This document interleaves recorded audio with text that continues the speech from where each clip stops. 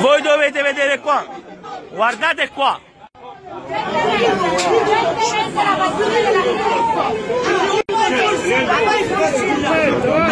Vai Forsilla, vai Forsilla! Guardate qua, c'è io protestare assolutamente chiamate i carabinieri venendo, chiamate i carabinieri guardate guardate guardate guardate oh oh mai, ma te ne vuoi andare Perfetto, buongiorno amici e amiche, ci troviamo qui nell'ufficio del consigliere Mario Maggio, quarta municipalità di Napoli. Eh, Mario Maggio è il consigliere che in questi giorni ha, ha dato vita a una serie di iniziative eh, perché eh, convocato e chiamato un pochino dalla cittadinanza ma soprattutto anche dagli operatori commerciali della zona. Eh, consigliere ci vuole raccontare brevemente come sono andate le cose, come stanno i fatti, cosa l'ha mossa. Allora, eh, innanzitutto buongiorno a, a tutti i telespettatori. Eh, il principio è questo, io dove vedo corro e dove mi chiamano corro ancora di più. Quindi eh, per quanto mi riguarda ho espletato le funzioni del mio mandato, quindi eh, accogliere le istanze dei cittadini, anche quelli che non mi hanno votato perché subiscono praticamente nel quotidiano queste angherie e mi sono recato sul posto a filmare per testimoniare quello che accade e riportarlo alla mia amministrazione. E con queste immagini insomma che hanno fatto un po' il giro del mondo ma dell'Italia in particolare e per quanto riguarda una serie di eh, esposti cartacei ma che non sono l'ultimo e non sono stato neanche il primo a far presente a questa amministrazione. Perfetto, risultato eh, rimbombante e anche ridondante si è ottenuto perché lo si vede eh, dalle, dalle, visualizzazioni che abbiamo avuto modo di verificare eh, sul suo account eh, personale, ha superato le 700.000, vuol dire che il problema è veramente sentito.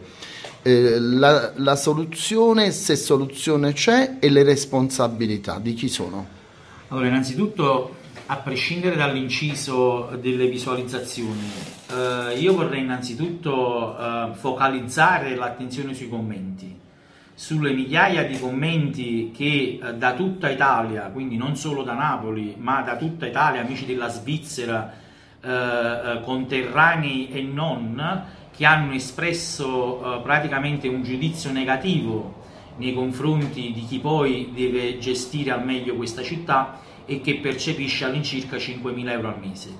In ogni buona uh, amministrazione o quantomeno in ogni buona azienda privata uh, si vedono i risultati.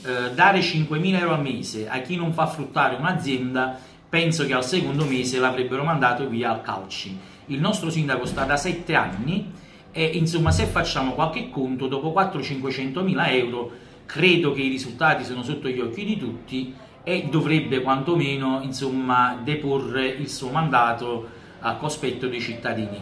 Ho visto purtroppo nell'ultimo video che mi hanno aggredito un fatto anomalo. Uh, un soggetto di nazionalità algerina che conosciamo anche come un presunto borseggiatore mi fa un video in contemporanea parlando con il sindaco della mia città. Cioè, invece di parlare al presidente della sua nazione, parla con il mio sindaco dicendomi che sono io quello che fa i video.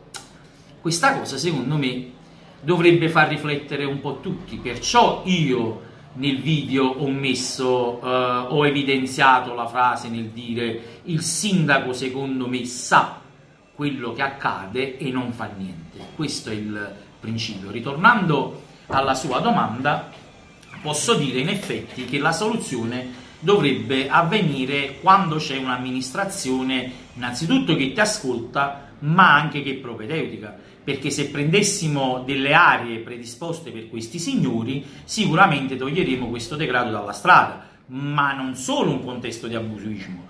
Dovremmo innanzitutto pensare che queste persone, per aderire a quelli che sono bandi pubblici, devono avere dei criteri. Se non aderiscono è perché non hanno criteri. Quindi se non hanno i criteri, io non vedo perché dobbiamo dare tutta questa permissività. Quindi eh, la prima cosa che si evidenzia, io le faccio le ultime due domande, quindi le chiedo potere di sintesi. Eh, Chiedo la- scusa se mi prolungo, ma per dare il senso, insomma. No, no, no, no, fa benissimo anche se perché l'argomento è complesso, però eh, lo, lo voglio riassumere in queste due eh, domande. Si evince una disparità di trattamento eh, da parte dell'amministrazione nei confronti di eh, operatori commerciali napoletani e queste persone che senza rispettare il più benché minimo eh, livello di eh, come dire, di autorizzazioni amministrative, di, di- di rispetto della, della salute degli altri, perché si, si vendono anche prodotti alimentari, abbiamo potuto vedere, lo abbiamo anche filmato in altre occasioni. Eh, questa- queste persone vengono lasciate a loro stesse e possono fare eh, ciò che vogliono e quindi queste le, le- le fa sentire autorizzate. Mentre invece noi abbiamo avuto modo di verificare che nel mercatino di Via Ferrara fioccano multe, la più piccola da 160 a 220 euro per mezzo metro in più su uno stallo o- operativo di, di un ambulante.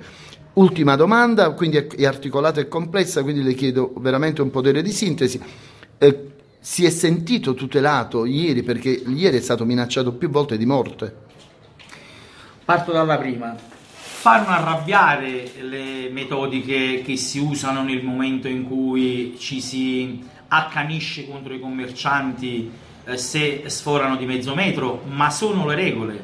Allora, se le regole le devono rispettare eh, gli ambulanti che eh, dire, trasgrediscono a queste, allo stesso metro, io non vedo perché poi, insomma, a pochi metri si lasciano persone invadere i marciapiedi con merce che è constatato non solo che sono insalubre, ma anche di dubbia provenienza. E allora a questo punto voglio dire la stizza da parte di chi viene multato effettivamente, insomma, diventa anche palese fatto salvo che le regole valgono per tutti. Allora stesso metro per via Ferrara, stesso metodo per Corso Novara. Detto questo, la seconda domanda, non si è sentito eh, solo Mario Maggio in quel momento minacciato di morte, anche perché le minacce sono nel- nella visione e negli audio, ma qua si sente un'intera comunità minacciata, insomma, della sua incolumità.